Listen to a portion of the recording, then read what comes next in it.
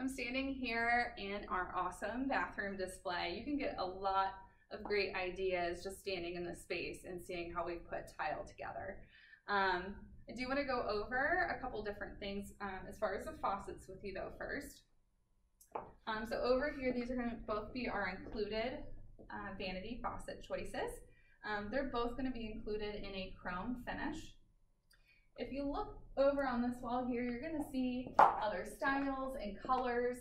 Um, those all vary by level. And if you're interested in looking through those, just ask your design consultant. Um, if you do change the finish or the style of your vanity faucet collection, it's going to be a whole package. So it's going to change your shower. If you have a tub, it'll change your tub faucet, towel bars, toilet paper holders. Your whole bathroom will coordinate to match. Back over here, you're to see the countertop over here. This is a cultured marble. So that's what's to be included for your bathrooms. Um, the oval here is the included sink. We also offer the rectangular sink as an option. It's $320 to do that in place of any oval sink that you'd like. Every bathroom will come included with a plated glass mirror, and then you'll see two of our included choices for your vanity um, light fixtures above there. This vanity is showing our standard height. If you come over here, you can see that this vanity is gonna be a little bit taller. This is our tall height vanity. So if you tend to um, have a little bit more height yourself, you may want to consider this option. Um, you'll also see that this has a solid surface countertop, which gives it a really nice clean look. It's a little bit more durable than our cultured marble product.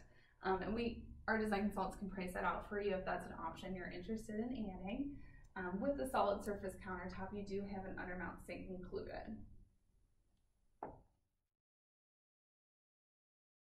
I know everybody's just dying to have that spa-like experience, so I'll explain a little bit of how you can do that next. Um, this is our included shower here with a framed shower enclosure. Um, some of you may have a fiberglass pan included with your um, shower floor as well, and then tile um, is an option or is included above. The shower frame will typically match whatever um, vanity faucet you choose. So if you stick with the included, it'll be chrome, but if you do want to go to a brush nickel or bronze, we'll go ahead and coordinate that for you. Over on this side, this is our super shower option. Um, all of these features can be added a la carte as well if you don't have a super shower. So if you have a standard layout for your um, bathroom with a tub, um, we can add each individual piece if you'd like. So the bottom here, you're gonna see a tiled shower floor instead of the fiberglass. You're gonna have a full um, frameless glass enclosure.